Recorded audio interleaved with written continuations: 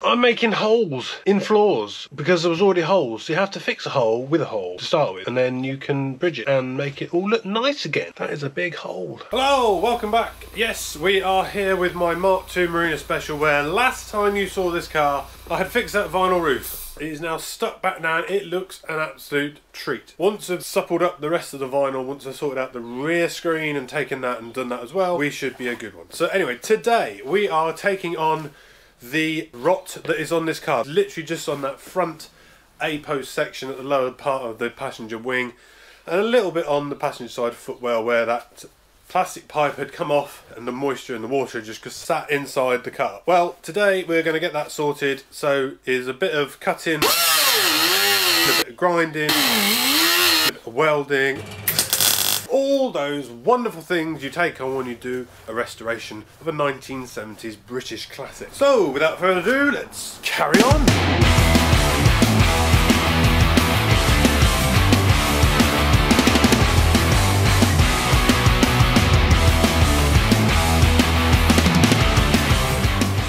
Right, check it out. We've got the door off, so now you can see inside. A little bit of rust up there, which was visible before, but that's okay, I can sort that out. This is where the hinge was, and obviously it's actually bare metal. When they painted these, the hinges were on first before they painted anything. But actually, that's, that's pretty good. I've seen a lot worse than that. The back a section of that wing is absolutely pristine. So I just got to take a piece of trim off. Now the last time, I wasn't trying to take a piece of trim off. This feels quite bristle.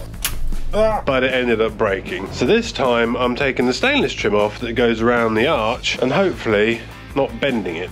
First bolt snapped. Teeny tiny, tiny, teeny. Gingerly get this off. Oh, oh. There we go. Don't break, don't bend. Hot, it's off, dent free, bend free, and pretty good in it. And even the clips on the wing are actually still intact, apart from the two end pieces. They never survive. Have a minute's silence for the clips that don't survive. Got most of the inner sill separated from the outer sill, separated from the floor, using a combination of spot weld chisel, uh, spot weld drill, air saw, and cut-off wheel because I'm trying to do an incision repair rather than having to break apart the whole area. But it is nearly out, so we're going to carry on. Get it done, Ben. Stop waffling. What are you caught on? Caught on, you little bugger. Come here. Come here.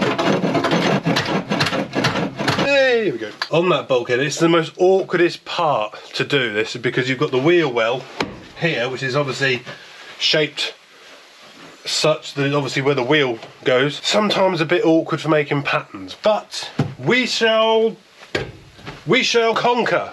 Conquers. It's not autumn yet, Ben. So we got the spot welds drilled out with the cutter really quick using WD-40 on it, just makes it last longer. They'll ping off quite easily, probably with a, a spot weld chisel or even probably just with the back end of a screwdriver. I've wire wheeled onto the rust spots on the actual A-post because this is pretty ropey and I want to try and keep it as low as possible below the swage line. I've just redone it so it's level because it was irritating me. Right, got that cut off, bottom of the wing.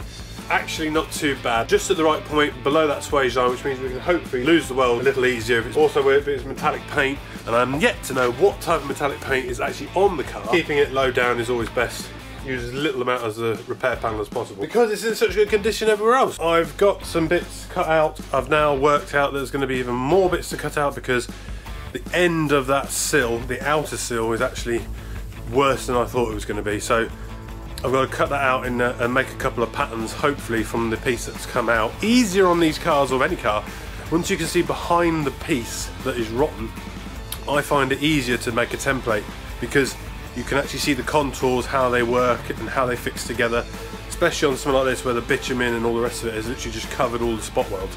This way you can actually see behind it, cut it out as one piece and use that then to make a pattern. That is the idea, that is the plan. Will it work? It has done in the past, but now it's shown it to the world, it'll probably all flop. Listen to the sirens, you'll hear them call the first don't even bother at all When there's no one to blame, it's a hoax, it's a chain, that's all Right, so this is what has come off. I've um, straightened up a little bit just so I can show how this relates to the pattern part that I'm going to fit because this being a genuine inner sill, never been changed. You've got the sill step, which I've gruesomely detached from the A-post. They're not really spot welds at that point, they're just literally tacked, but very, very hard, so whatever they use was very, very tough. What I've got to go on is the pattern part, which as you can see, if I put the two together, they're quite different. So we're gonna utilize the first couple hundred millimeters, so I'm gonna section it in and hopefully pressings will line up, don't count on that. And then what I'll do is I'll flatten their flange so it matches the original one, then it slots back in. Once I know that is obviously gonna fit, I need to repair any parts of the floor first before final fitment. I can hear people out there saying, fit the old panel, take the old car apart. No, doesn't need it. Why should I? It's my car, do what I want to do. No. Well, if you're enjoying this video, I really appreciate if you could click that subscribe button. It really helped me to get these cars that are quite unloved back on the road. You can tell it's very cold in here today. This is the inner sill. These are the pieces just cut out. I cut them out with the air saw and it's easier to make the patterns. Well, that's how I think anyway. So I can actually join them back together in where they were, so that when I actually create the pattern, I know that they should be perfect. Uh, the inner sill we've already got pieces for, so that's the old one. We can modify the pattern part to look like that, even to the point of where my angle was a little bit off cutting it, so we know that it will uh, butt well back together okay. I want it to look factory, and wanting and getting maybe two different things. Mm. Cardboard, methinks. We're going to fabricate the end piece. Right, so the first pattern I've got to make is that end of the sill. Now, the outer sill, usually when you get repair panels, they're well, either cover sills that aren't full sills. Started off with just literally a piece of paper and just effectively pressed over the end of the sill to find out where the edges were, get a rough guide, find out where that's either the swage is or where it's been pressed tightly and then you can actually use that as a fold in the paper to create the next step which is using cardboard. I don't have an English wheel so I can't do stretch the metal before I'm actually going to create the pattern. So what I do is in the cardboard phase of it, where I've put the cardboard over the panel, I'll put an incision in the cardboard where I know that at that point the metal would obviously be stretched. A couple of incisions on your pattern so that when you actually come to make it in steel, those incisions would allow the metal to push up. I'm using cardboard because it's much simpler and as you'll see the piece comes out quite well actually. There's just a, then a couple of welds to make on the metal to make it all look super nice. Super. Right, another way of making a pattern is if you've cut out the piece like I have, or any part that you obviously is quite convoluted, I mean this is a floor piece, fairly straightforward, but because I've cut it out with the air saw, it's a bit of an odd shape. I flattened it out on the back of the vise, and now I'll just trace it on some cardboard, put a 90 in it, and off we go. Get it done. No, stop saying get it done. Make it all look nice. On the last video, I showed you this Morris Ital front wing that I'm gonna use to repair the bottom of my wing on the Mark II Special. Right, what I've got to do here is separate the flange that runs across the back of the wing because I've got to cut this lower piece out which actually has turned out really good. I stripped it all off with the strip disc and actually um, the outside is actually really good. The inside is slightly pitted where moisture's obviously got behind it but I can clean all that up, treat it and this would be an absolutely perfect repair panel. You can buy these as actual panels from the Morris Marina Owners Club. I'll put a link in the description. If you do happen to own a marina, you're very lucky, and you can buy them. They are really nice panels and they fit a treat. Carefully prized apart so that I go enough beyond the swage line, cut it out, but obviously be able to reuse the flange that wraps around the back of the wing on the car. Lower wing cut off, separate it from the supporting bracket which runs down the backside. Obviously a bit of rust underneath there. Clean all that, treat that. Flanges in one piece, so I'll just open it up a bit. That effectively goes on there. I've measured on the wing the swage line to the top of the wing. 500 millimeters top to the swage, effectively two datums for that because that swage line has to match up with the door. As long as I get that 500 millimeters right,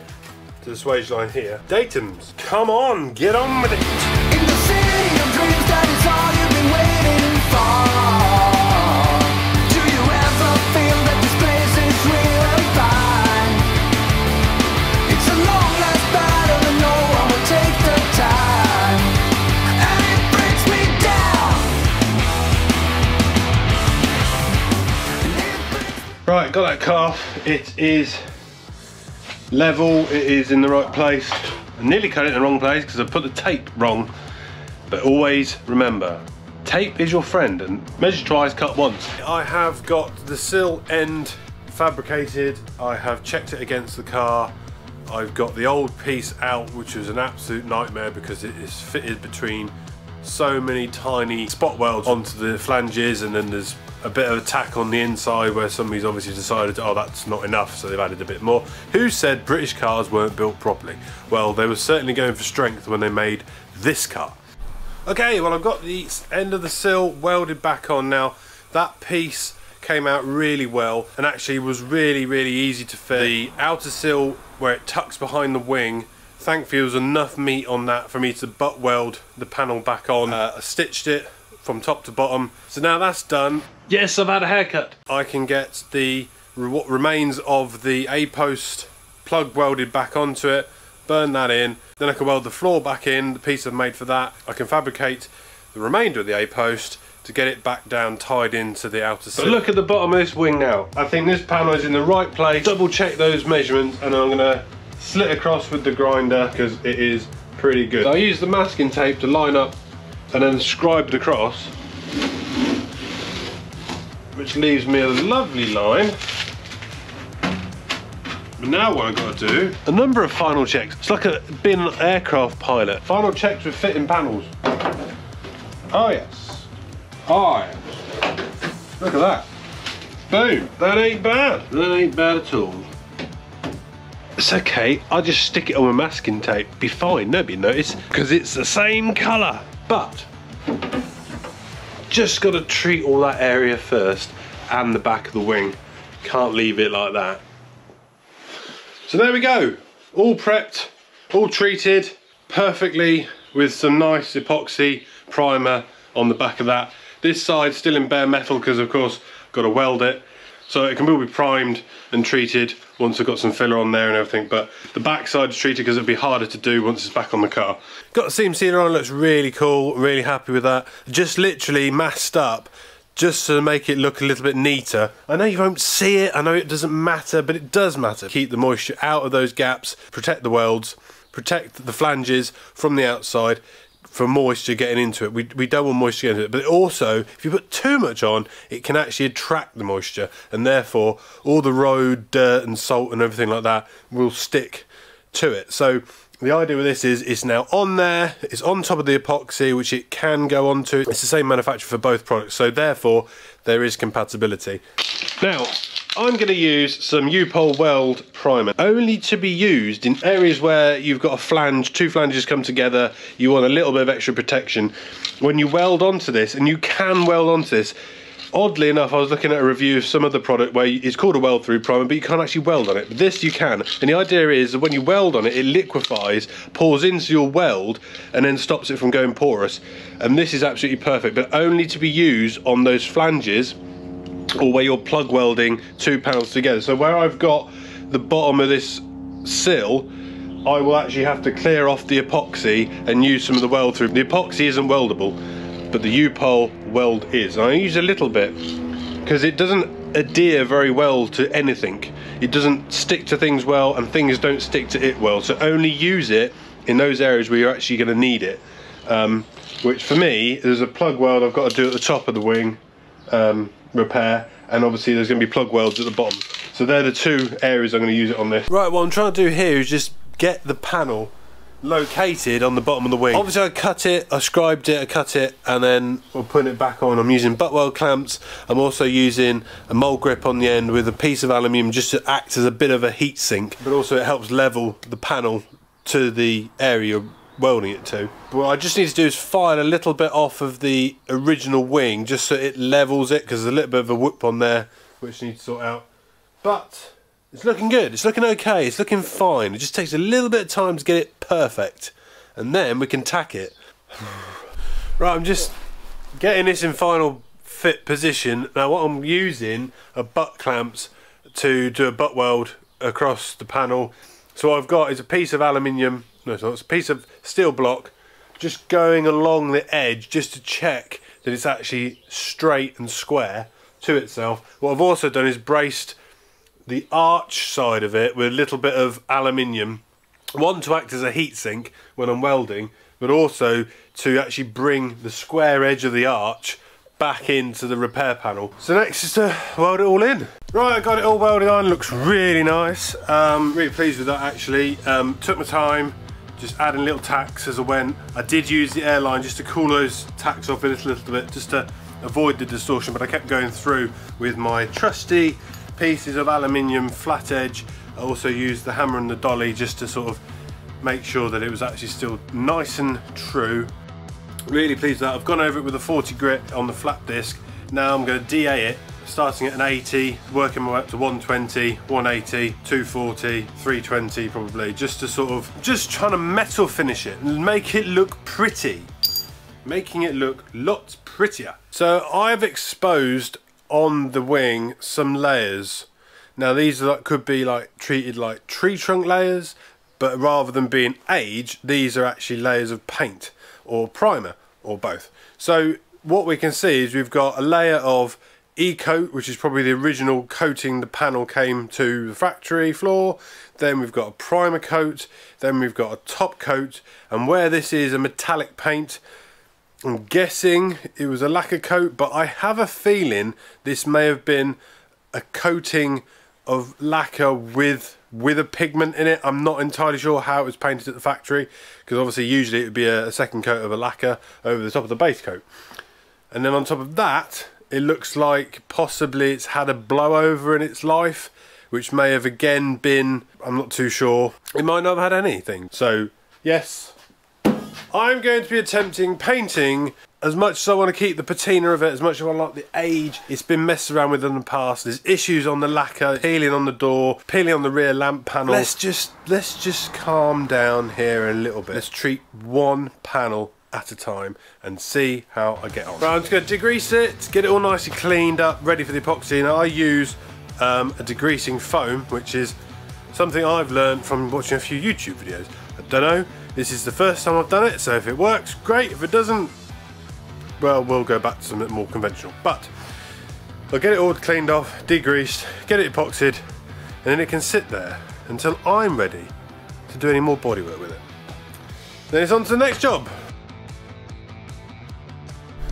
Oh, I've achieved so much in this video and I'm so pleased because the wing is now done, welded, DA'd, sanded, it's now ready for some filler and that'll come in another video because I'm absolutely shattered. So the next job, I'm not too sure. I think I'm going to tackle the engine bay next. I think engine bay, engine, gearbox because I'd really like to get the engine into the car and running um, and to do that I've got to do a few things. I've got to rebuild an engine so you know who hasn't rebuilt a 1300A series before? Well, I have but you know, some people haven't. So anyway that probably will be one of the next videos if not the next video. So I'll see you next time. Right, so I put a post out on my YouTube page saying thank you for all those who have subscribed. I, at the time I'd hit 500 subscribers, which absolutely brilliant. Thank you ever so much for all of you who have subscribed. If you haven't already, please do consider it and hit the bell for notifications. It'll be absolutely great. Um, the idea of this channel is to make it a little bit of fun, restoring old cars, uh, a little bit of learning maybe for me, as well as maybe tips and tricks that I've learnt along my way for you. Um, but I put a post out asking was there any questions you have of me um, and I got a couple of responses um, but one of the main ones was do I have any more videos of the van that features on my homepage uh, the little white van Morris Ital van now that van I got last year uh, off a driveway in Surrey it had been sat there for a very long time um, it was uh, pretty bad. I had to fit new roof rails to it, bottoms of the A posts. Uh, I had to repair the rear doors, both front doors. It was in quite a bad way, but it. it uh, I took a lot of photographs, but I didn't film it. There's only a couple of videos I've got of it, which when I was thinking about doing this channel, and up until that point, I hadn't really thought about, you know, making a YouTube channel for the restoration of the cars that I do. Um, but I did, I must have had a, an idea at some stage whilst doing the van because there is a couple of videos I've got and I'll put those in. Um, but that's it really. Um, loads of photographs of it as I did the work, um, but not a lot else. Um, maybe at some point I'll do a quick collage video of that. You can see um, how that turned out and what it was to start with. But it was pretty bad. But it's gone to a new home now, and uh, I couldn't be happier. Um, and that's the thing with all the cars I'm doing. Um, they're cars that have been around in storage for a long time, and I'm just trying to find new homes for them, really. But I want to, and I enjoy doing the work, so I'd rather do the work and get them around to somebody who's going to take them to shows, and then you know enjoy it and show everybody how I do things, which may or may not be how everybody else does things, but you know I'm enjoying myself. I'm enjoying myself.